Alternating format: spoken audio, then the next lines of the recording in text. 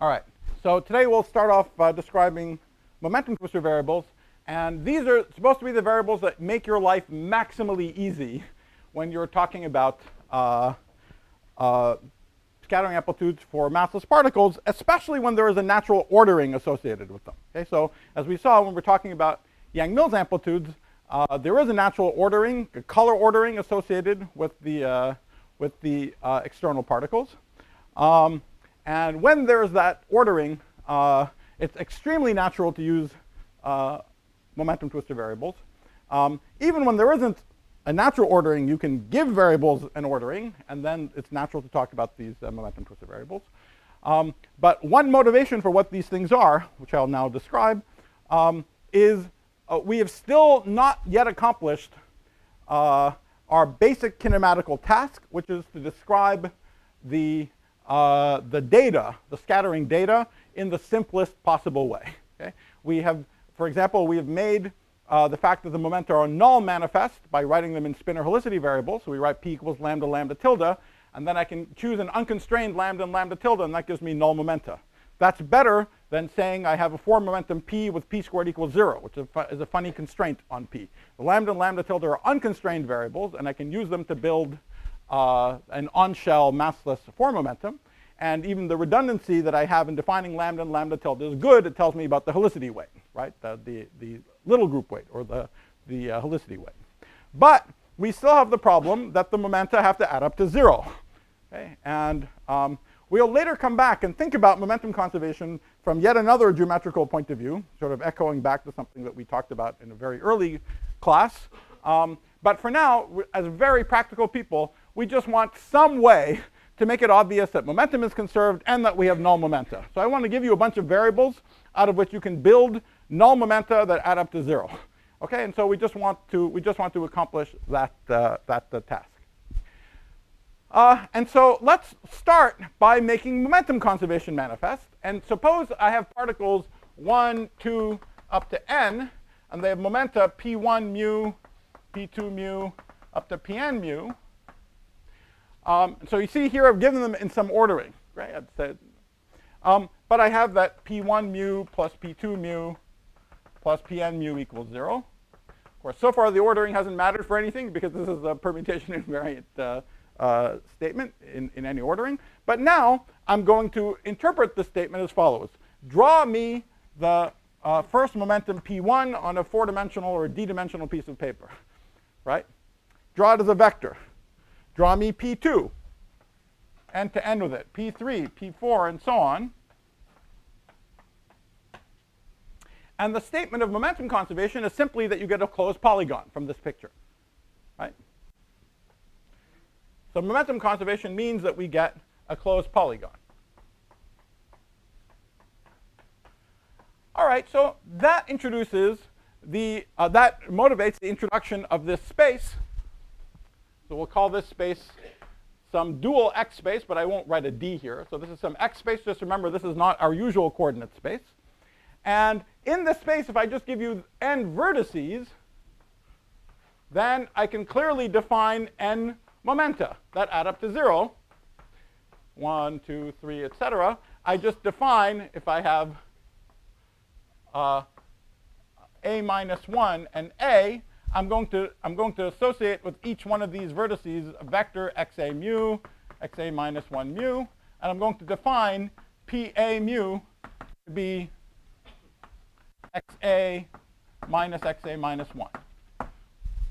And so trivially, if I do that, the sum of all the PAs at is 0, right? So trivially,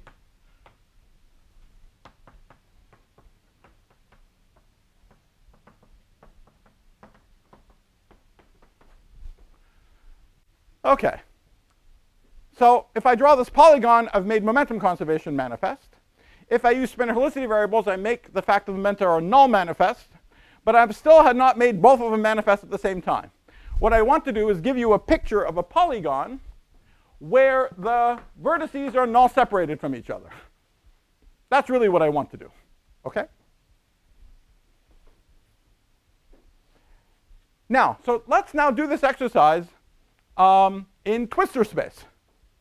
So what I want to do is take this whole picture of n. Now, this is now the twistor space not associated with our ordinary space-time, but this funny dual space-time where the coordinates have units of momenta. Okay? But let's just uh, take the twistor correspondence as we talked about last time and just draw what this picture looks like in the corresponding twistor space. Okay, that twistor space is called momentum twistor space, just to remind us that it's associated with the momenta. All right? So let's remember the correspondence. What is this point x1? What is a point in space-time? Is a line in twistor space. Okay, so there's this line that's associated with the point x1. This whole line is associated with the point x1. All right. There's also a line associated with the point x2. It's another line, but these two points are null separated from each other. So what does that mean for the corresponding points in momentum twistor space? They intersect. Okay, so the next point is this line x2, but it's not random. It intersects the first one at some intersection point. Who is that intersection point? If this is x1 and x2, so this is what I was calling P2, right? That intersection point corresponds to this null ray associated with P2. Right, so there's this point here that I could call Z2. Okay, but Z2 is associated with the null ray P2.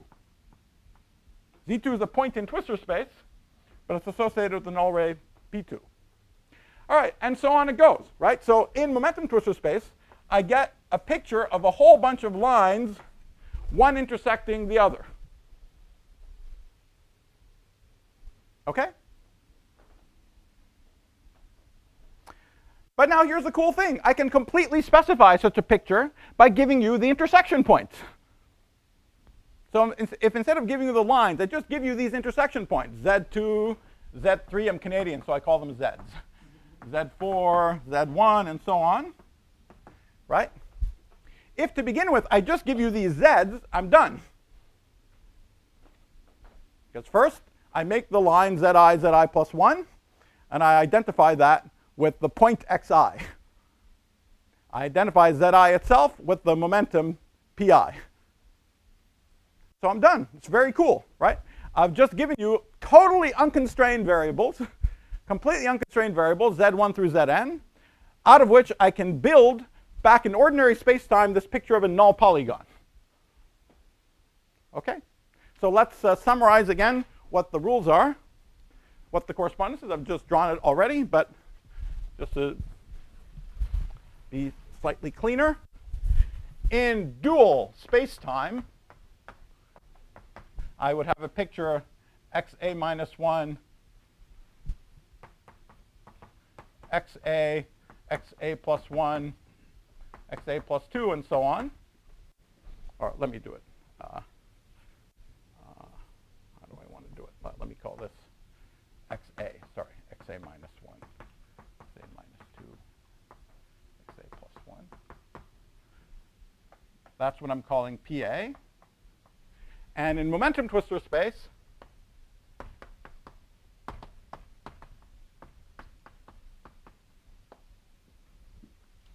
I have like this.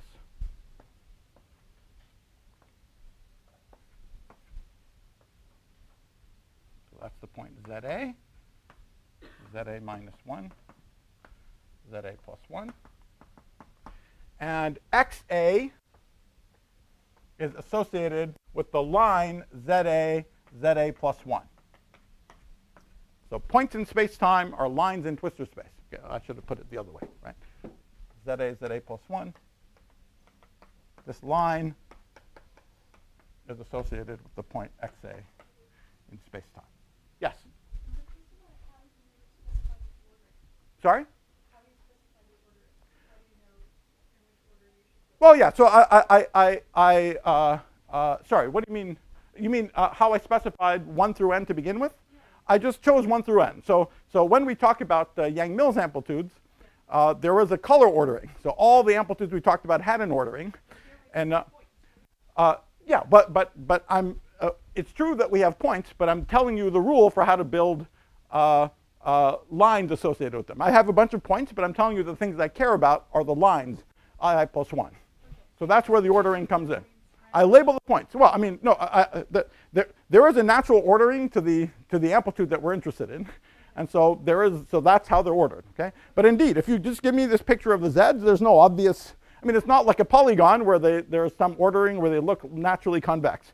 We're going to come back to this point in a big way, okay? So in a very big way to figure out what the analog of convexity and positivity and so on is going to mean. This is going to be a big theme later. But for the moment, yeah, we just draw it willy-nilly, any, any old way, it, it doesn't matter. Uh, but I'm telling you how to associate from this picture of just a bunch of z, a polygon with an ordering, okay? And the way to do it is you have to give an ordering to the points, and then the line 1, 2, 2, 3, 3, 4, and so on gives you the corresponding points. Does that answer your question? Okay. All right, so now it is just a matter, yes. Yeah. Uh, uh, I mean, th th this is a three-dimensional picture, okay? So uh, no, so generically they, they, they, will not cross. And um, again, uh, interesting, interesting singularities of the amplitudes precisely correspond to these lines crossing. Okay, so for instance, if you have x1 plus x2 plus x3 squared equals 0, that means that this polygon is folding on, on, uh, on itself. Okay, so, so, so we have factorization and so on. So, but here it's just, just generic. Everything is, uh, everything, is, uh, everything is generic. This picture is in three dimensions. Okay, so um, uh, yeah, and all the lines, uh, apart from these lines that are forced, one crosses, well, just by construction. I'm making one, one cross across the next. Yes? Yes. Yes. Uh, uh, no, th th these are these are uh, uh these are uh, these are two points that are null separated. And so these these these two null separated points, precisely the statement that they're null separated is is the uh, is the picture that that that that we've drawn here. Okay, so um, so. Um, Yeah, that, that, that's just, that, right. Sorry? Yes.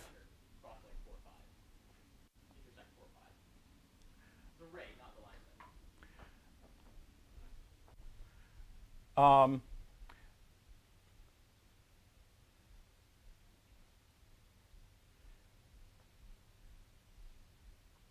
yeah, but that, but that, but we're not. That, that, that's a separate question. There's a question about null separation. That it's certainly true. It's certainly true that uh, it, it's certainly true that, that any of the null rays as complexified things intersect in some z, right?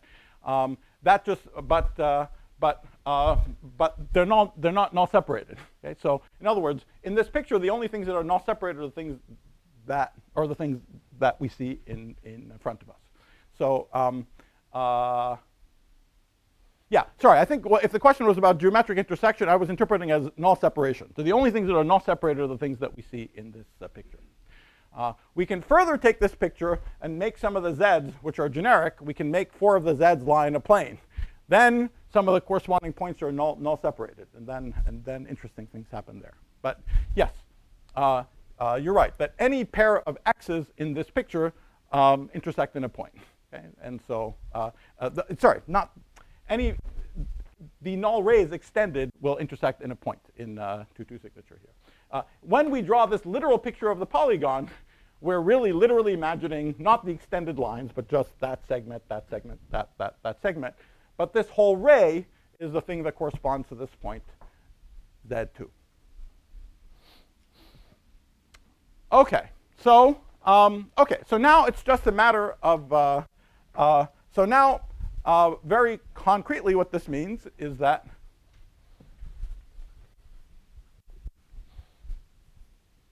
if you give me these z's, and let me write them as lambda a and mu a,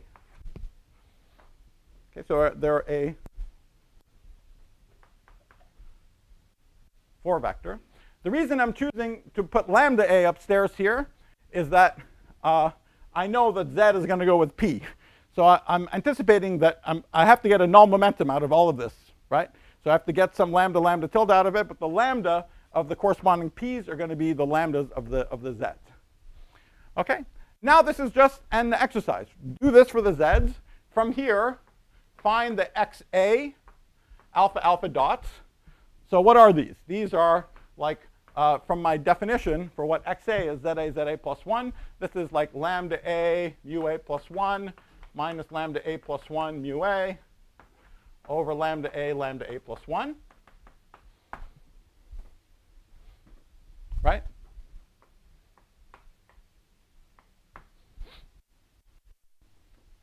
And then I'm claiming it's guaranteed that if I take xa minus xa minus 1, alpha alpha dot, that this is null. Okay, this is guaranteed to be null. And in fact, it's going to be lambda a alpha times some lambda tilde a alpha dot. But now you'll get a formula for lambda tilde. Okay, and well, we just have to simplify the algebra there, but here is the concrete formula for lambda tilde.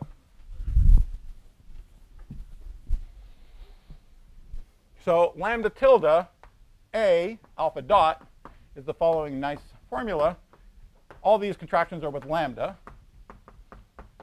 plus the cyclic shift of this.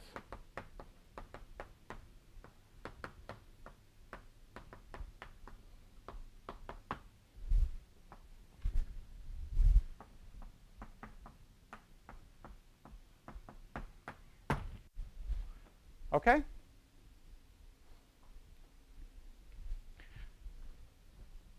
So, what I'm claiming is that if you give me a bunch of z's, then we, we're, we're now done. Um, uh, I've constructed some, so, so given the, given the z's, which are lambda and mu, I've constructed a lambda and a lambda tilde. Okay, so a bunch of null momenta. And the beautiful thing is that the, that, that the sum of all the lambda lambda tildes is guaranteed to be 0. Okay? And you can check, uh, if you don't believe that it came from the construction, you can check that the sum of all the lambda a, lambda tilde a is equal to 0. That's another nice application of our favorite uh, trivial Cramer's rule identity or the Schouten identity. Guess I'll leave that as a little exercise. Okay, so so if you give me uh, four numbers for every particle, then out of those z's, I construct uh, I construct momenta that are null and which add up to zero. Okay. But of course, these variables also make some other things manifest. First, ignoring anything about symmetries of a theory, the picture of the null polygon is a conformally invariant picture. You give me like you give me this null polygon. If I do conformal transformations on it, it'll go to some other null polygon. If I invert, it'll go in some other null polygon, right? So just the picture of a null polygon is conformally invariant. But now it's under conformal transformations in this funny space, right? In this dual space. So the momentum twistors,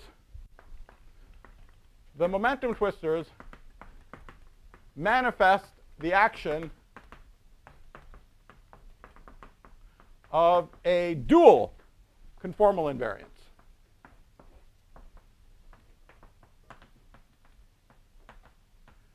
on the dual spacetime.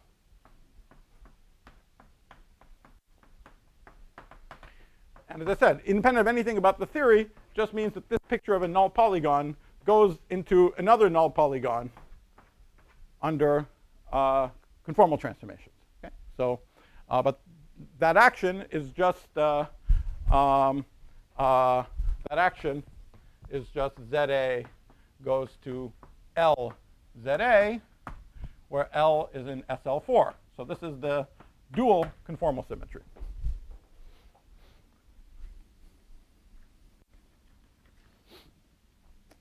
All right. Now we'll see why we care about this dual conformal symmetry in a second. Yes?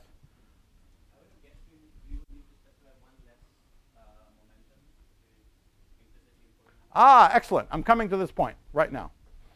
Okay, so uh, so let's think about um, yeah, this is a, this is a, a cool thing. So, so naively, we're imposing, uh, uh, I mean, let's just do, do counting, right? So naively, when we have momenta, we have three variables associated with every particle, and we have momentum conservation, right? So, so let's just do some, some counting here. So naively, we have uh, uh, 4n variables. But then there's a minus 4 for momentum conservation. And of course, there's the, uh, there's the minus n from the little group weight under each variable. So this takes us down to 3n minus 4 variables. Never mind Lorentz transformations, everything else. So just, uh, just counting on the support of momentum conservation. What do we have with the z's? With the z's, naively, we have 4n variables, right? But as again, we have the overall rescaling on each one. Okay, so we have 4n minus n again. But we seem to have 3n variables left over. So what's going on? Any, any clue what is going on? What do you think is going on? Right. So this picture of the polygon, the momenta that we talk about, only depends on the difference of coordinates.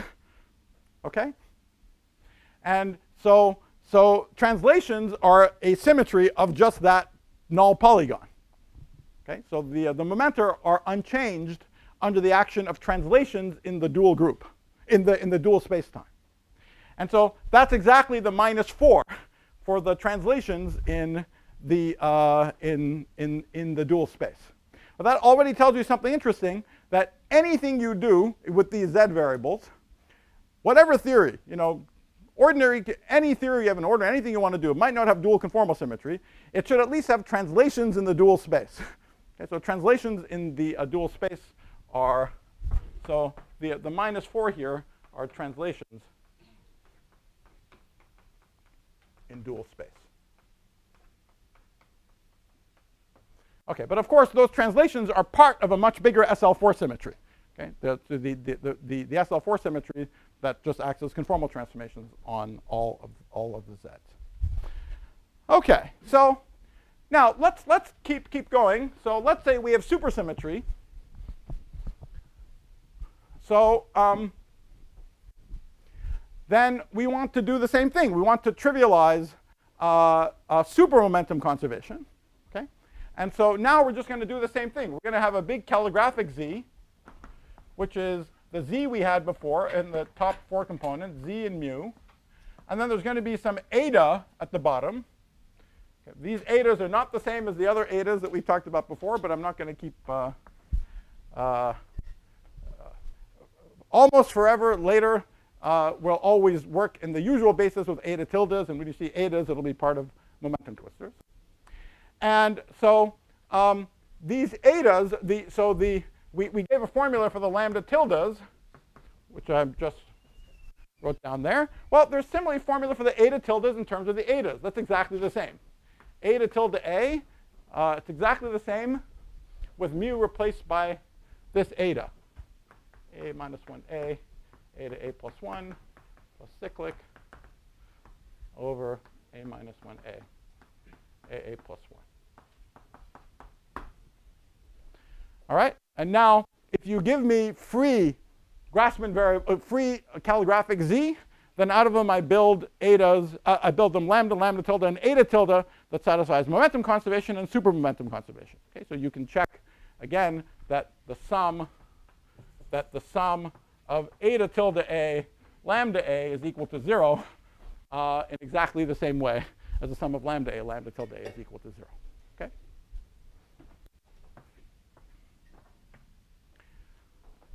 Okay.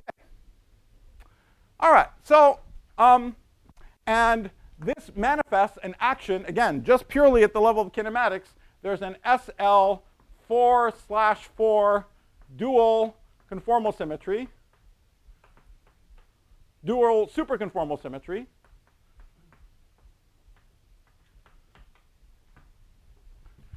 And as uh, we say, the uh, so the uh, generators are just things that look like z ddz, eta ddz, z dd eta and eta dd eta. Okay, and these have different, different names, okay, but that's just what it means. We have 4 by 4 superlinear transformations, and they're just generated by these obvious super linear transformations. Okay? So things that just look like z d d z. Okay, so, so much for kinematics. Now let's uh, go back to talk about the amplitude and say why we care about this dual conformal symmetry. And let's actually go back to the full superamplitude. So let's go back to back to superamplitude for uh, maximally supersymmetric theories, n equals 4 super Yang-Mills. And uh, let's say that I have the amplitude in the ordering 1 through n. OK, well, the amplitude first has a piece which is the delta function for momentum conservation that comes along for the ride so much that sometimes we forget to write it down, right? Um, it also has a piece which is the, oh, sorry, but this depends on n and uh, that variable I called k hat, which I'm shortly going to define to be, well, I'm going to define to be k plus 2. All right? Then there's always the supermomentum conservation that I'll just write like this. Now, we're, we're talking about the amplitudes within this ordering. And, um, uh, and at tree level, um, everything just breaks up into uh, single color trace pieces, as we saw. In the planar limit, well, we, we, we can do this uh, decomposition in general, but it's, but, but, it's most, but it's most useful in the planar limit.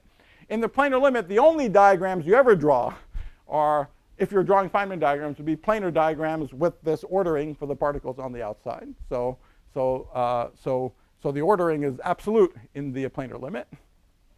Okay, so, um, okay, and so the thing which is left, I'm going to give a new name to. I don't know, let's call it M dual, N and K. So what does this depend on? This, this depends on uh, lambda, lambda tilde, and eta tilde.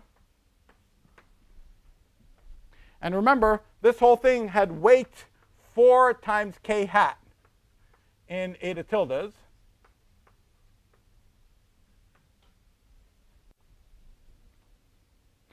This thing already has weight 2. 2 times 4 in all of the eta tildes. So whatever is left has weight 4 times k hat minus 2, which is 4k in eta tildes. Now let's do a little bit more. If you remember, in the superamplitude, each particle had weight minus 2 under the, under the little group.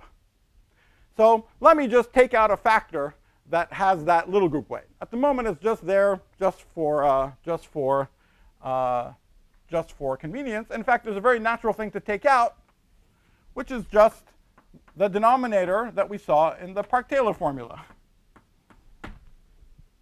Okay.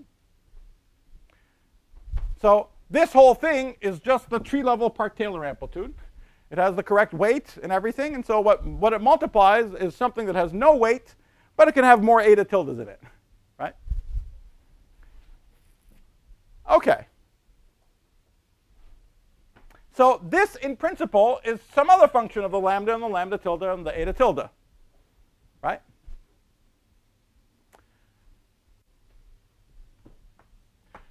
But let's say I say, oh, cool, now I know a way now I know a way to uh, write lambda and lambda tilde uh, in a way that uh, on the support of momentum conservation and supermomentum conservation, right? I know how to write them so that all those things are made manifest. So let me take, this starts off life as a lambda and a lambda tilde and an eta tilde in there. Let me just shove in the formulas I have for lambda tilde and eta tilde. I'll shove it in here, right?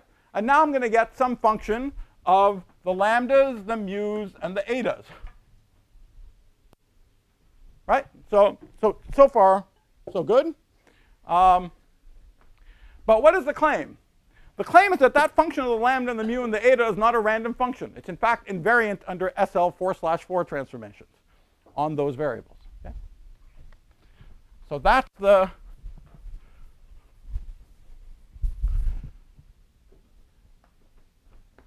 m and k of lambda and mu and eta, which is just, of course, this is trivially a function of calligraphic ZA, is invariant. Invariant under SL 4 slash 4. With a few little caveats. about infrared divergences and, uh, and so on, but uh, collinear divergences. But, uh, but, uh, but at first blush, uh, just flat out invariant under this uh, dual conformal symmetry. Okay? Okay, so the amplitudes have an obvious conformal invariance. In four dimensions, the amplitudes are the scattering of gluons, right? So at tree level, they have a conformal symmetry at loop level, n equals 4 super Yang-Mills. The coupling constant doesn't run. It's a conformal theory. So you think that at least uh, barring the issue of infrared divergences, the theory, even quantum mechanically, has a conformal symmetry in four dimensions. In five, six, seven dimensions, it doesn't have a conformal symmetry, right? But at least in, in four dimensions, it has a conformal symmetry. The claim is that the amplitude, after you strip off these factors that essentially tell you that allow you to, to, define this null polygon to begin with. See, without these factors, I can't talk about the null polygon. I can't talk about the dual space. With these factors, I can talk about uh, the null polygon that lives on the dual space okay, and some super uh, extension of it. But after you factor out this, uh, uh this uh, trivial factor that uh, forces it to live on the dual space, the amplitude is also invariant under conformal transformations in the dual space. Okay, and the conformal transformation and the dual conformal transformations very manifestly don't commute with each other.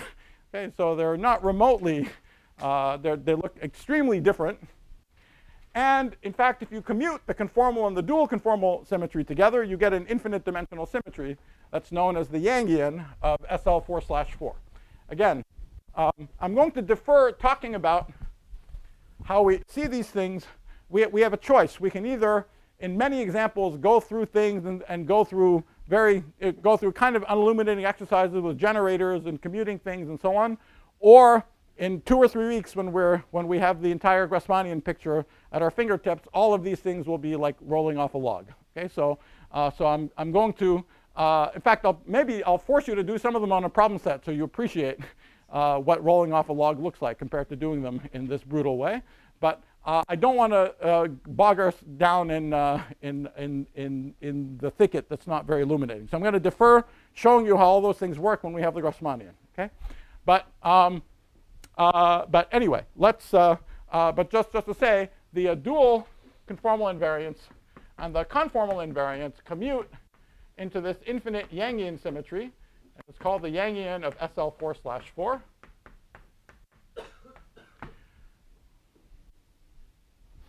And I'll say a little bit more about that later. This is just words for now. Um, a few more things. Uh, so uh, this is just, uh, again, just words for now. So um, uh, we know that the, the thing that we're talking about in the original space-time is called an amplitude. Okay, and it, now, now I'm telling you, take the amplitude, you strip this thing off, and you get another object which is invariant under conformal transformations in the dual space. So could there be a name for this object in the dual space? A physical name for this object in the, in the dual space. And well, what, what would you do if you're a gauge theory person? Um, if you've never seen these things before, never mind, we're not really going to use it or need it. Uh, but if you are, if someone hands you a closed loop in some space-time and says that you have a gauge theory, what would you compute associated with that, with that picture? You would look at the expectation value of a Wilson loop. Okay, so you look at the you'd look at the, the expectation value of trace of e to the i, path order trace of e to the i, uh, uh, dx dot a, associated with this null polygon. Okay, and that would give you some function. So this, this Wilson loop would give you some function of the corners of the polygon, x1 through xn. This is not a random polygon. It's a polygon with null edges, right? But you give me this null polygonal Wilson loop. And the claim is that if you calculate the expectation value of this Wilson loop, that's what this guy is. Okay? Now, um, uh, in order for this to be, in order for it to be interesting, I have to tell you what the super Wilson loop is. For it to be a, a, very clean statement. Anyway, we can define the super Wilson loop. In fact, the cleanest way to define the, the super Wilson loop is in momentum twistor space. Um, but, uh, but I'm just telling you words for now. So just at least qualitatively, the correspondence is that the amplitude in the original space is computed by a Wilson loop in the dual space. Okay, yes? The vertices aren't null, they're not separated. Okay, so each each point in the dual space, that's that's what we're doing, right? This is P1, P2, P3. You're giving me a polygon whose vertices are null separated from each other. Right. So you give me a, a null polygonal Wilson loop. Every time you say that, it sounds a little it sounds null polygamous is what I keep thinking. But anyway, a null polygonal Wilson loop. Uh, uh, you give me a null polygonal Wilson loop. The expectation value of that null polygonal Wilson loop appropriately supersymmetrically identified as this guy. Okay?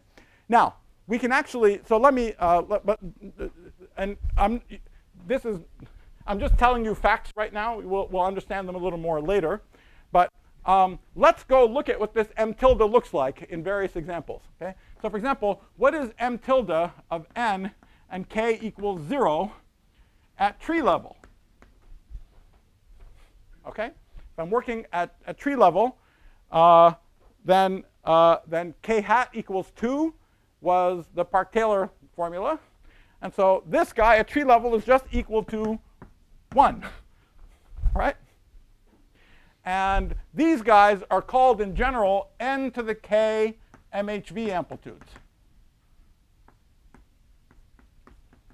But, which again, back in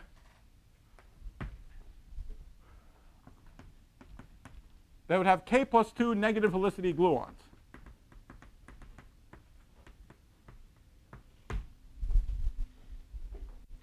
All right, so um, notice, notice something.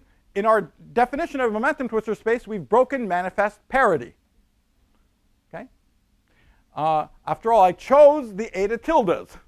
The act of choosing eta tildes right, right back at the beginning was chiral, right? And so parity is interchanging lambda and lambda tilde. It flips k and n minus k. All right, so parity is an interesting operation that gives you a correspondence between the amplitudes for k and n minus k minus 4. Okay, you just if you just uh, trade k hat to n minus k hat,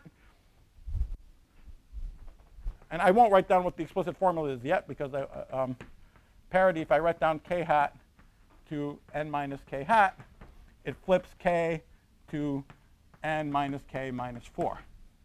Okay? So, so parity is, uh, is, is not manifest in momentum twistor space. But we'll, we'll, we'll understand it. All right. So, but let's come back to the MHV amplitude. It's 1 at tree level. Okay, and at loop level, so in general, if I do an expansion, it's 1 plus g squared times something, m1 loop, plus g to the fourth times m2 loop, and so on. Okay, so you get something from that. And the first hint about, uh, and again, you have to worry about infrared divergences, so there's some universal infrared divergent part you have got to cancel, but well, we're not, this is just a little impressionistic right now. Um, it's this sucker, which is just a, you know, just a function of the z's. There's no super anything. That is literally what you get from the bosonic Wilson loop here. So if you don't know any supersymmetry, you don't know anything, uh, but you're still computing in n equals 4 super Yang Mills. Okay, but, uh, but, um, but uh, I don't have to be clever in how I define the Wilson loop. I literally take this picture, I, I, I just compute the Wilson loop, this Wilson loop in the supersymmetric theory then the expectation value of this Wilson loop actually gives you this function. Okay, so that's the first uh, that's the first connection. That uh, um, and then then it then it took some time, a number of years, uh, before people realized how to dress up this, super, this object in a supersymmetric way so that you could really make this connection uh, totally precise. Okay. Yes? Um, yes. No, the gauge field in the dual space. Yeah, so that's what I'm saying. That there's a whole second world. So this is what I want to stress. There are two worlds. There are two spaces. The original space-time, the momentum space, or the lambda lambda tilde associated with the original space-time. There, there's an object called an amplitude. Okay? One thing. Another thing, in the dual space, you draw this thing, and now you look at n equals 4 super Yang-Mills in this dual space. And you calculate the Wilson loop in this dual space. And uh, so, so, so this already tells you that we thought this whole time we are talking about amplitudes.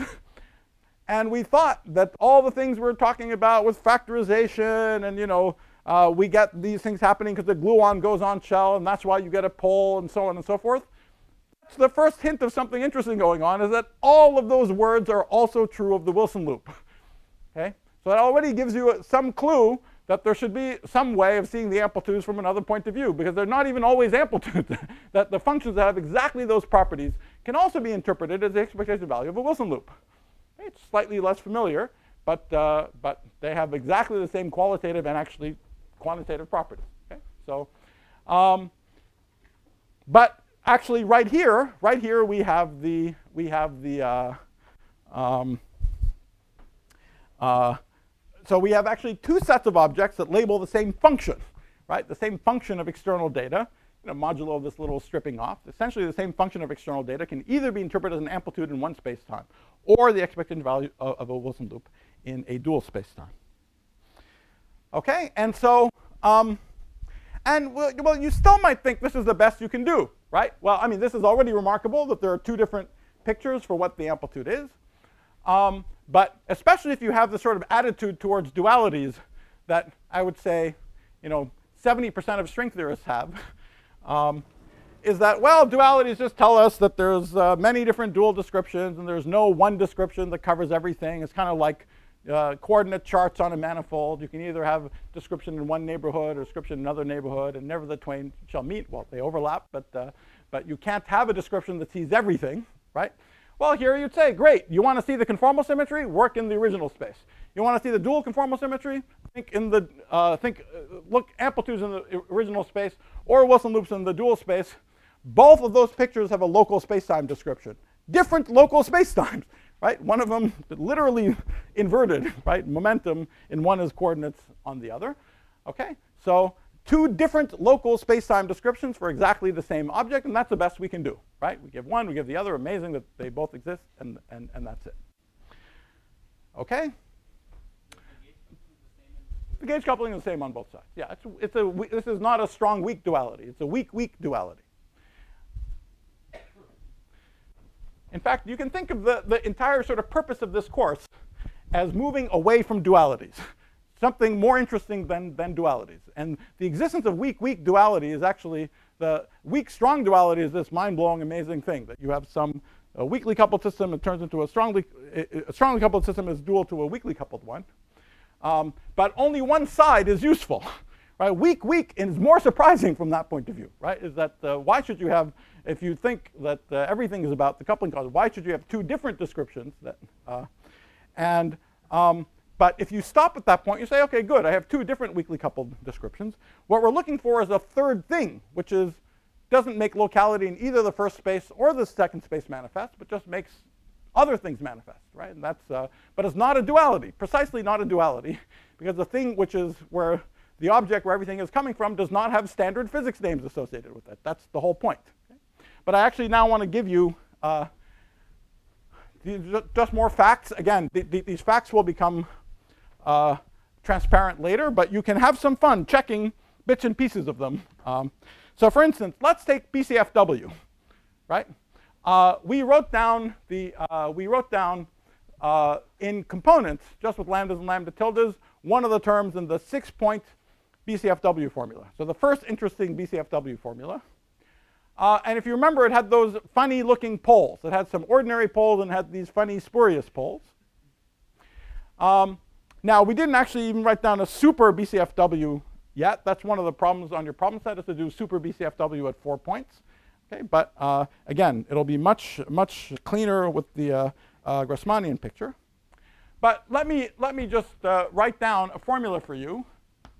Uh, let's say for tree amplitudes for any n and k equals 1. So this is what we would call uh, NMHV, next to maximally helicity violating. And now this is this, I'm probably going to keep forgetting to put the dual on it, okay? But this is going to be a function. So the claim is that this is a function of the momentum twistors, The super momentum twistor variables. Okay, and this is what you get from one particular way of doing BCFW. Remember, it's a, it's a uh, BCFW is a recursion relation. Uh, so there are many ways of uh, running a recursion, right? You, you go from six. Uh, we start from the six-point amplitude, let's say. Um, now I'm actually giving you to even for all n, but anyway, uh, you build the amplitude in terms of uh, product of lower ones, and you can choose who you shift as you go down. So there's many ways of doing it. There's one particularly nice way of doing it. So a particularly simple BCFW. But I just want to just illustrate a point, which turns into the following kind of strikingly simple formula.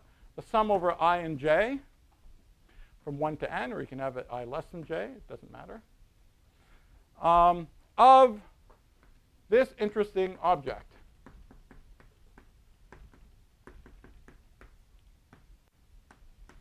So it's a bracket that depends on five variables. Okay? So I, it's a bracket I'll define in a second that depends on five variables, A, B, C, D, E. But the variables are Z1, Zi, Zi plus 1, Zj, Zj plus 1. Okay, and this is what M ends up being.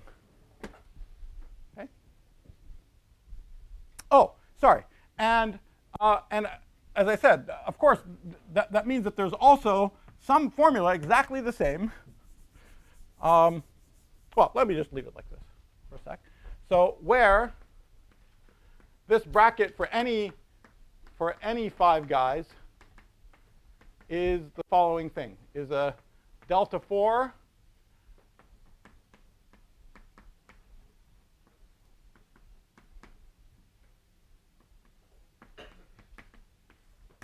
So 1, 2, 3, 4, 8 of 5, and then I cycle it around. So, so 5, 2, 3, 4, eta 1, and so on. Okay, so I, I cycle them all around, divided by 1, 2, 3, 4, 2, 3, 4.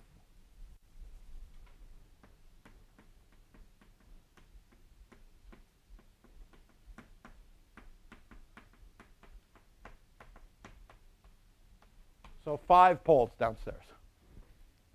And remember, everything in brackets here is always a, B, C, D is always contracted with the epsilon symbol.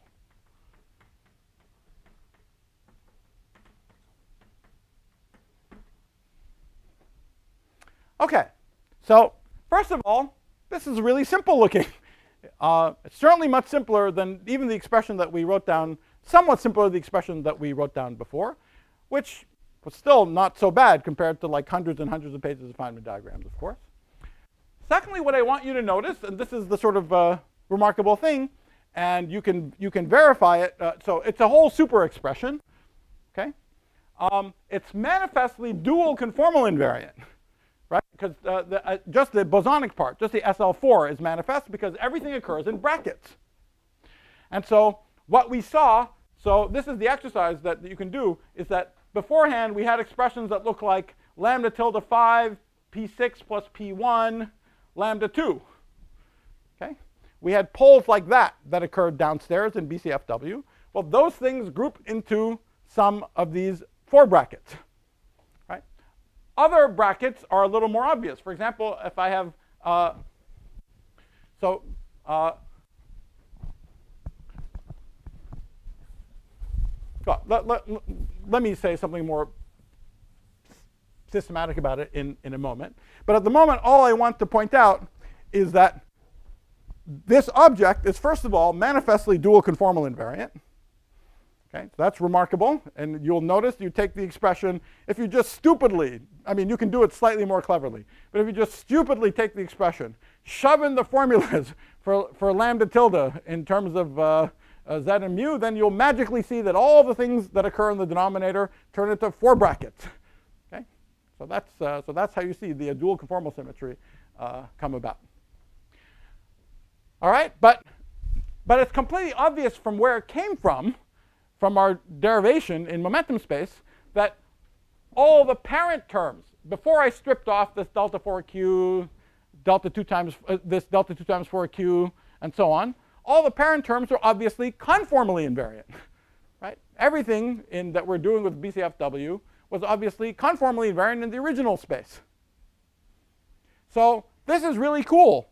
The individual terms in BCFW are invariant under both conformal and dual conformal transformations. So this is a remarkable fact.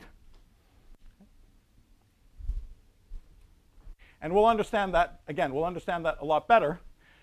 It's not true that in order to see the conformal and the dual conformal symmetry, the only choice you have is to use a Lagrangian in one space or use a Lagrangian in the other space. No, if you use BCFW, term by term, you see that uh, the object is actually invariant under all the symmetries. In fact, the BCFW terms are invariant under the full Yangian symmetry of the theory. Okay? Okay, so what is the price to pay for this? The price to pay is exactly what I highlighted last time when we talked about BCFW, right? Each term in BCFW has some poles that are legal local poles and has these fun of these some of these funny spurious poles. Those spurious poles do not correspond to anything. Uh, they don't correspond to some of the momenta squared. They don't correspond to some on-shell particle going on-shell in the space-time, right? So each BCFW term cannot be associated with some ordinary local process in space-time in any way, in any sense, right? It's not local and it's not unitary, term by term. The amplitude, the full amplitude is local and unitary at tree level, and you know we know how, even how to check at tree level. It factorizes on the poles correctly. Uh, it has poles in the right spot and it factorizes correctly. That's true for the full amplitude, but it's not true for the building blocks. There's some simple building blocks of the amplitude that we associate with the BCFW terms. It's not true of the building blocks term by term. Now that might have puzzled you. Why is it? Uh, why is it? Why is it that? Uh, I mean, it's already exciting that you can write the answer in a super simple way, but the building blocks can't be associated with processes in space-time. And now we have a deeper understanding for why they couldn't be associated with processes in space-time, because exactly the same building blocks are building up a Wilson loop in the dual space-time. Okay? They couldn't possibly have fealty to one space-time or the other. They don't care about locality in space-time at all. They don't care about either one of these space-times. Okay? But they, in fact, see all the symmetries. Right?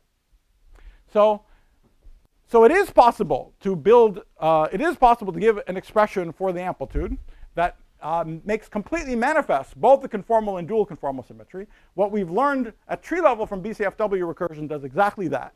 A little later in the course, we'll talk about the, extent, the extension of all this to all loop order. Okay, but uh, but certainly we've talked about things at uh, tree level. But the sort of the, but now we sort of understand more more deeply. The building blocks don't look like local processes don't correspond to local physics in either the original spacetime or the dual spacetime. They somehow come from a different world. they have a different purpose in life. They make the Yangian symmetry manifest. They have other purposes in life that we're going to uh, uncover more. Okay? Yes. Yes. Oh yeah, well you just look at uh, so let's let's let's actually look at let's look at what what uh, the expression here looks like for let's look at the special case of this for n equals six. Okay. So this is equal to one, two, three, four, five, plus one, two, three, five, six, plus one, three, four, five, six. Great. I was just, just about to do this, right? So that's what my general 1i plus 1 jj plus 1 formula looks like. Okay? All right? Uh, notice that, that this bracket has a total antisymmetry property. and if you set any two of these things uh, equal to each other, you actually get, get, get 0. Okay? So uh, anyway, this is what the, these are the three terms in BCFW. If you remember, there are three terms, even when we talked about it before, uh, that uh, there, there, there are three terms that came from something that looked like this, and then this, and then the other, and then the other one, right? Okay. So we had these three channels where we separated, uh, you know, six and one.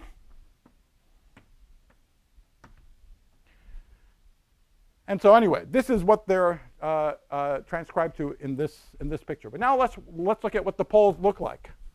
So let me forget about the numerator. Let's just look at what the poles look like. So let's see the poles in 1, 2, 3, 4, 5.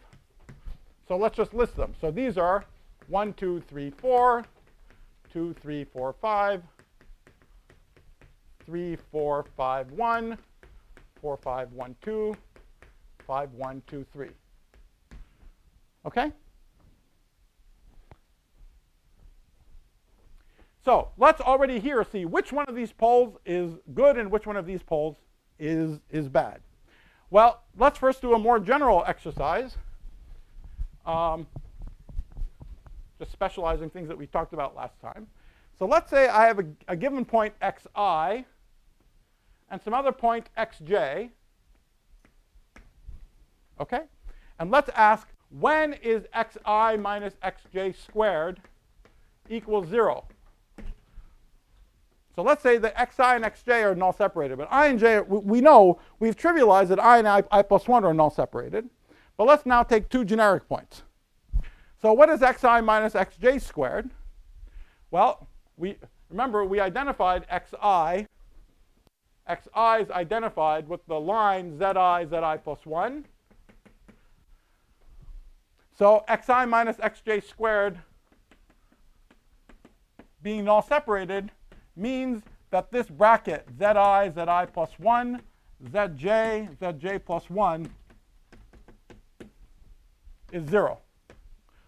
Okay? That means that in momentum twistor space, uh, i and i plus 1 intersect j and j plus 1.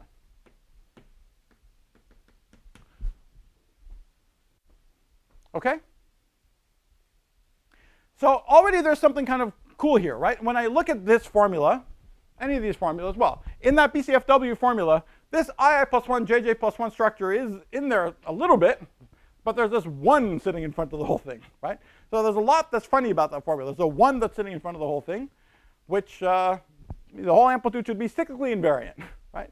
So, uh, but anyway, so, um, uh, but that's fine. We, we did the recursion in some particular way, and, uh, and uh, and of course, it's going to turn out the whole answer doesn't depend on that, on that choice. But let me, let me say a little bit about it. Uh, but let's, let's go to this picture now. And so in momentum twistor space, I have these my six lines, Z1, Z2, Z3, Z4, Z5, Z6. So who are the legal poles in this set? 1, 2, 3, 4. Uh, 1, 2, 3, 4 going to 0 means that x3 minus x1 squared goes to 0.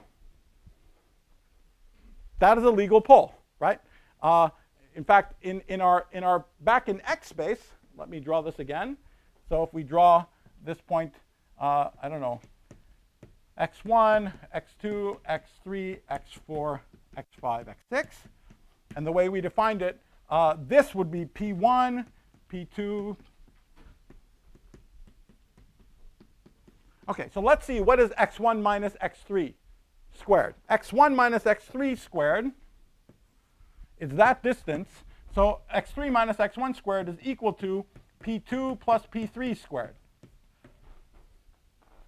Okay, so when x1 minus x3 squared goes to 0, any xi minus xj is the sum of the consecutive momenta between i and j right? So any xi minus xj squared goes to 0 is a legal pole. And so any bracket ii plus 1, jj plus 1 is a legal pole. Okay, so physical poles look like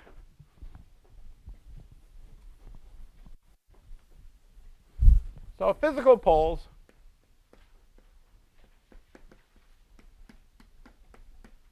are ii plus 1, jj plus 1, 0, which again corresponds to xj minus xi squared goes to 0.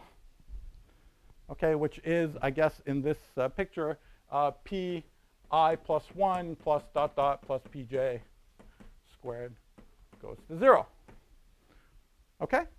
So, so now all we have to do is look to see which one of these poles look like i plus 1, jj plus 1. And so,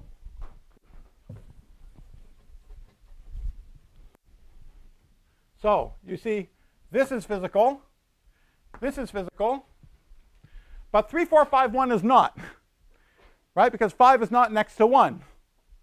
So this is spurious. 4, 5, 1, 2, that's physical.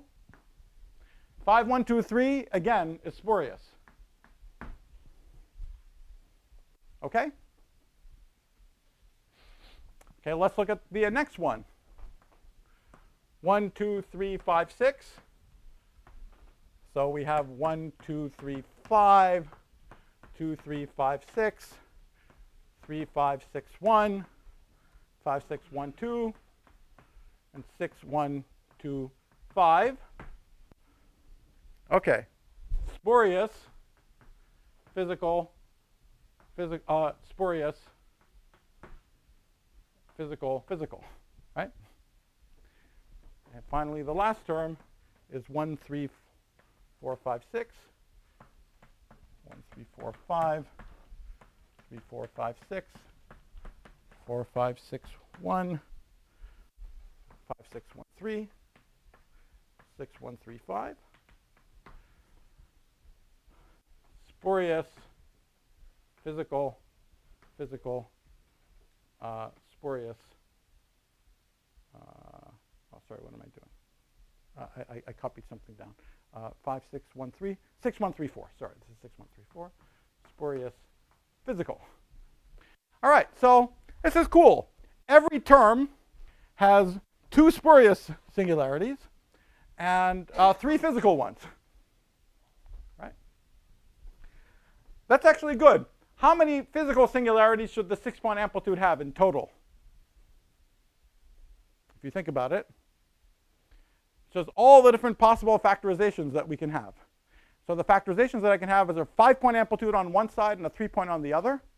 There are six of those, right? Because I have to choose which set, uh, which, yeah, anyway, there, there, there, there are six of those. And there are three that look like a four-particle amplitude on one side, like one, two, three, and then four, five, six on the other side. There's only three of those because as you cycle everything around, uh, uh, if you cycle three, you, you come back to where, where you started. So there's a total of nine physical singularities. And good, we have nine physical poles. And they're all distinct. But each BCFW term also has these two spurious singularities. And now there's a chance that they cancel, right? Because they occur in pairs. So 3, 4, 5, 1 occurs here, and it occurs here. Okay? Uh, they all occur in pairs. 5, 1, 2, 3 occurs here, and it occurs there, and so on. Okay? So, so the spurious singularities occur in pairs. And so you're beginning to get an idea of what's, what's going on. So each one of these terms, you can even start trying to visualize it. It's like kind of like an, an object. It has some good sides. It has some bad sides. They have to like glue together with something else to uh, cancel them. Okay? And in fact, this is not a, this is not a specious, uh, it's not a specious, um, uh, uh, it's not a specious statement for reasons that we'll see. Um, each one of these things is literally associated with a triangulation of some shape. Okay? So, and so you can really think of them as gluing together into an object where all the spurious singularities correspond to internal facets of the gluing and all the physical singularities correspond to the external ones. Anyway, we'll, we'll, we'll come back to that later. Um, but term by term, they're Yangian invariant. Term by term, they're not local, but the, uh, but, but the locality shows up in, in, in the whole sum. Okay? Well, you can. Well, uh, we'll we'll we'll discuss uh, a lot about this subject uh, uh later. One of the interesting things is that uh, over and over again, unitarity and locality come together. So if you ask, for example, so here's an exercise that, that, that you, ah, sorry, before I do that, let me actually say one other thing. Um, Uh, so now notice one funny thing in this formula was that there was a 1 sitting in front of all of it, right? So surely I should be able to do the same thing with the 1 replaced by anybody. Like the 1 could be replaced by 2. So surely uh, I should be able to write this formula also as 2 ii plus 1 jj plus 1. So it would be 2, 3, 4, uh, 5, 6, plus 2, 3, 4, 6, 1, plus 2, 4, 5, 6, 1. That had better come out. We know certainly from, from the, the underlying physics is giving us something totally cyclically invariant. So, all right, so that means that these interesting brackets satisfy this six-term identity. Now, this is not an, an obvious identity, but they satisfy this interesting six-term identity. And let's see if you believe they satisfy this six-term identity, how could we see that the spurious poles cancel?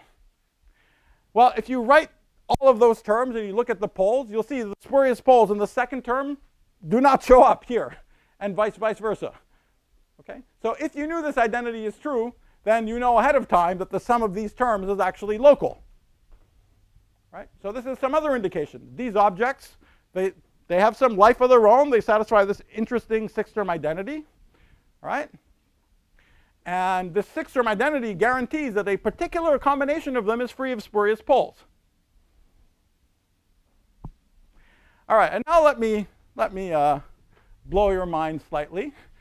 So what is this six-term identity? All right, well, here's a way of getting the six-term identity, just purely, purely at the level of, uh, purely at the level of playing with expressions, okay? So I'm going to invent a sort of fake six bracket. One, two, three, four, five, six. Okay? And pretend for a second that this is some kind of simplex, right? So you know that if you have a simplex, there's a notion of a boundary.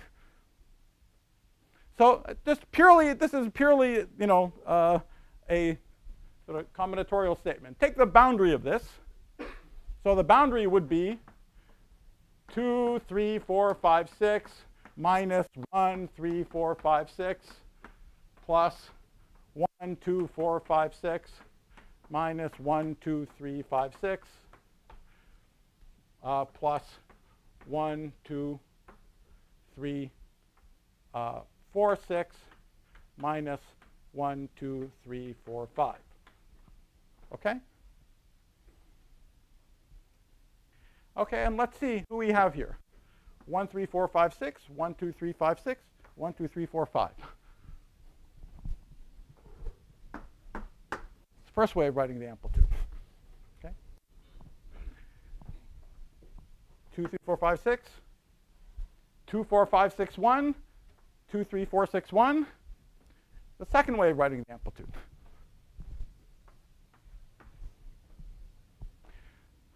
So the identity, the identity that is uh, satisfied by these uh, BCFW terms kind of looks like a homology statement, like the boundary of something equals 0. Right?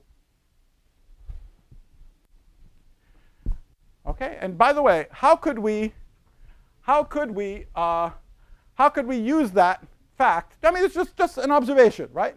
But how can I use that observation to show that, uh, uh, well, uh, so, and in fact, this is true much more generally, right? I mean, well, the, the, the, the, six-term identity is always this, this six-term identity has nothing to do with n equals 6. It's true for any six variables that I, that I, that I put in there. So how can I use this to, uh, so I want to, for example, I want to see, is it true is it true that the sum of 1 i i plus 1 jj plus 1 is this equal to the sum of 2 i i plus 1 jj plus 1? Okay? And there's an identity these guys satisfy, which is this six-term identity. Right? But I could use zillions of these six-term identities over and over and over again. Right? the, the question is, can I use these six-term identities to somehow massage the first expression to look like the second expression? Okay, that's uh, the only identity these things satisfy, it turns out, is this interesting six-term identity. But I just want to give you an idea of how you would check if it's even possible for these two things uh, to be related by identities. So what I want to know is, is it true that this difference, is this difference a sum of six-term identities somehow?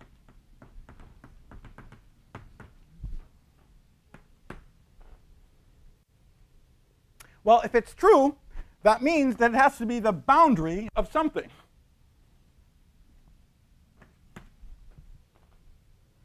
So how can I check if it's a boundary of something? Well, boundary squared is equal to 0, so I just have to compute the boundary of this thing. Right? So now let's look at the boundary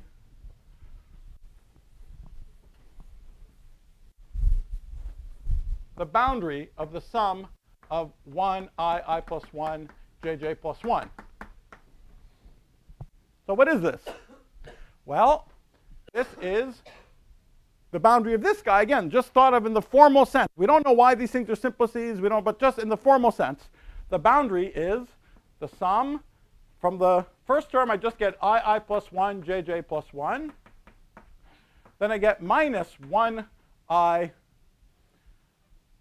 1i plus 1, jj plus 1, plus 1i, jj plus 1, minus 1i, i plus 1, j plus 1, plus uh, 1 i, i plus 1 j.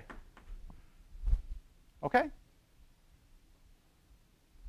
And now when I do the sum, okay, that's something.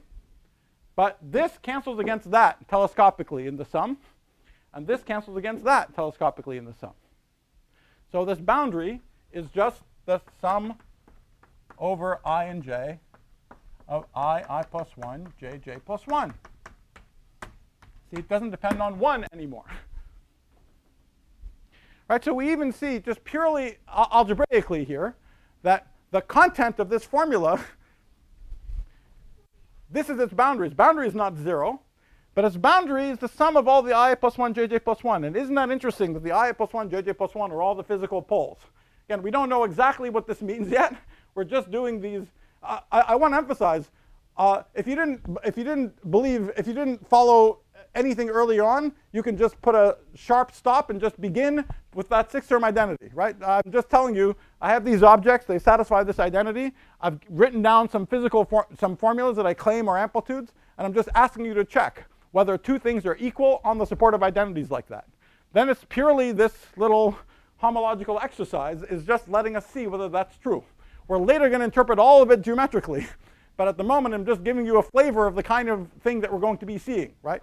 The objects out of which the amplitude are built have the manifest Yangian symmetry. They do not have physical poles in either the or, in any space-time, the original or the dual. They satisfy magical homological identities. Okay, and those identities allow you to express it in many, many different ways and see the equivalence of lots of different ways of, uh, of writing them. So the fact that this is independent of 1 uh, then, of course, tells me that any two formulas with 1 and 2 are equal to each other. And it further tells you that this thing is entirely free of all spurious poles. And the only poles that it has are the physical ones, where uh, that look like i plus 1, j, j plus 1. All right, so that's just giving you a, uh, that's just giving you a flavor of the kind of thing that we're going to be uh, seeing a lot more of. Uh, before ending, I, I just want to uh, tell you quickly a little bit about the history of this dual conformal symmetry. So um, this might seem like a kind of exotic, strange symmetry, this dual conformal symmetry. But in fact, it was noticed back in the 1960s. People didn't really know what to make of it, but it was noticed back in the 1960s. And I just want to quickly give you some context for this. So we will, we will see this in a little more uh, detail later, um, but just a little impressionistically for now. So let's look at a simple one-loop diagram. Okay. Um, so ordinarily, if you're doing a field theory course, you would maybe put some loop momentum L here. And you would say that this is the integral d4L And this propagator, everything is massless. You'd say it's L squared, L plus P1 squared, L plus P1 plus P2 squared, L minus P4 squared, something like that. Okay, you would write down some uh, formula. Uh, let me put the L here. So this is L plus P1, L plus P1 plus P2, and so on. All right, well, already there's a nicer way of drawing these integrals. Already there's a nicer way of drawing these integrals um, where we use exactly these same dual variables that we talked about. See, all these uh, momenta are null. So let me overlay on top of this our picture of the x's, right? So here's, uh,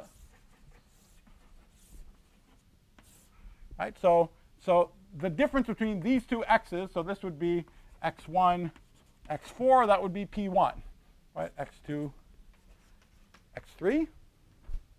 And that also makes it nice to think of the loop momentum. Is the loop momentum integration is actually integration over a point you can call x naught in the middle of the space-time, right? And then what we call L, or this L, would be x naught minus x3, what I called L there, for example. Okay? Um, but instead of drawing that, which has the sort of asymmetry of who you call L here and so on, you do something slightly more symmetrical, and you do something, you would write d for x naught over x naught minus x1 squared, x naught minus x4 squared. Now, next time, and after we do a, a tiny bit of uh, uh, projective geometryology, and we figure out how to write down forms in projective space and so on and so forth, it'll be much easier to check these things. But you can also already check yourself that this object is actually invariant under, or covariant under inversions in x space. So it's not obvious, but this simple one loop integral is actually dual conformal invariant. It has obviously ordinary conformal invariant as usual, but it's dual conformal invariant as well. Some appropriate numerator that we'll talk about later. And anyway, it's obvious that people were interested in diagrams like this, and it was actually noticed by Wick and Cutkosky and many other people uh, in this period that not only that integral, but these kind of ladder integrals that look like that, they look sort of like planar ladder integrals, had a conformal symmetry in momentum space. Okay? Now, why were people drawing these ladder integrals? They were drawing these ladder integrals because they're interested in bound state problems. And if you know something about uh, quantum field theory, um, you know that in order to see bound states in quantum field theory, uh, when the basic object is an amplitude, to see a bounce state, you have to sort of keep exchanging a particle over and over and over and over again. And so you have to resum these ladder diagrams. And the planar ones are not the only ones. There are the planar ones, there's non-planar ones, you get more complicated ones. But these just happen to be the easiest ones to examine first and think about. And Wicken, Cutkosky, and others noticed that this particular set of diagrams happen to enjoy this dual symmetry in conformal space, this dual conformal symmetry. Now, in fact, there's a limit of uh, bound state problems where you can really think of these diagrams as dominating. And so what is this hidden SL4 symmetry then? Have we ever seen this hidden SL4 symmetry anywhere else in physics before? What is SL4? Well, SL4, I'm being a little sloppy, is the same as SO6. So there's supposed to be some big hidden SO6 symmetry. Except if I'm talking about a bound state problem, I have two momenta, right? These two momenta are going to break the SO6. Each one is going to break it down to something, right? So one momentum will break the SO6 down to SO5. The other one is going to break the SO5 down to an SO4. So just the presence of the two scattering particles reduces the symmetry from SO6 down to SO4. So this is just the, the two heavy lines here. Okay? Reduces SO6 to SO4. Now that SO4 symmetry is a little bigger than you might have expected. What would you expect for the symmetry of a bound state problem? Rotational invariance, SO3. Have you ever seen this SO4 symmetry before? In four dimensions? Only in four dimensions? This is what explains why planets go around in ellipses. Okay? The Kepler problem in 3 plus 1 dimensions is integrable. Only in 3 plus 1 dimensions is it integrable. And it's integrable because with the 1 over r potential, there is a larger symmetry than the obvious ones of just rotations, right? There's a Runge-Lenz vector. There's a Runge-Lenz vector that's also conserved. And the Runge-Lenz vector enhances the SO3 rotational invariance to an SO4 symmetry. Okay? So there is this symmetry going back 400 years to explaining why planets go around in, in ellipses. And that Runge-Lenz symmetry is a small subgroup of the dual conformal symmetry. So this is not such a strange, mysterious, uh, exotic, esoteric thing. Uh, it's connected back to basic questions like why planets go around in ellipses. Now, it's just that for a general theory, if I'm doing QED or something, of course I don't just have planar diagrams. I have more complicated diagrams. And then, and, and of course I have wave function normals. I have all kinds of other things that break the dual conformal symmetry. But you could have asked already back then, could there be a theory which would maintain this dual conformal symmetry? Should be a theory that's conformal, so that nothing runs, and I only get planar diagrams, and that's basically, not quite, but it puts you on the path of, of uh, n equals 4 super Yang-Mills. So n equals 4 super Yang-Mills is the, is the theory that actually has the whole dual conformal symmetry, um, but it's sitting there, and the, and the hint of it was sitting there early on in the fact that subclasses of diagrams in uh, quantum field theory had the dual conformal symmetry. And, uh, and finally, uh, this dual conformal symmetry, as I mentioned before, explains why there's no pole at infinity in BCFW. Okay? Why does it explain it? It's because uh, what, what, what was the point? We were worried when we are doing BCFW shift that maybe there's some singularity in the amplitude at infinite momentum. And we don't know how to control infinite momentum. We don't know what's going on at, at infinite momentum. But because of dual conformal invariance, infinite momentum is infinitely far away in the dual space. But infinitely far away in the dual space is inverted to just the origin in the dual space, and there's nothing going on. Okay, so there's nothing special about infinity. There's nothing special about infinite momentum because of dual conformal symmetry. Okay? So dual conformal invariance uh, is the sort of symmetry reason why, um, and is related to the sort of, I mean, as I explained, it's sort of magical. It's not obvious that things fall off at infinity, right? And Feynman diagram by diagram, that's not obvious. Now we see why it's not obvious, because the Feynman diagrams don't make the dual symmetry manifests, obviously, right? But because the theory also has the, the dual symmetry, then, uh, then the Feynman diagrams has to conspire in such a way that there is no pole at infinity. Okay? So dual conformal symmetry is also the explanation for why uh, BCFW works to begin with. All right, so um, those are all the things, uh, both, I told you what momentum twistors are and some invitation for the kind of objects we're going to see and the sorts of questions that we're going to pursue. Um, but uh, starting uh, next time, finally, for a few lectures, uh, I hope you have motivation enough uh, to just start playing around in, uh, in projective space and getting comfortable with asking questions like we saw here. Um, questions about when lines intersect, and we just have to practice with lines intersecting planes, planes intersecting each other, et cetera, et cetera. So we just have to become, uh, that's trivial, but we're just going to get good at that, and then after that we can proceed to talk about Grassmannian.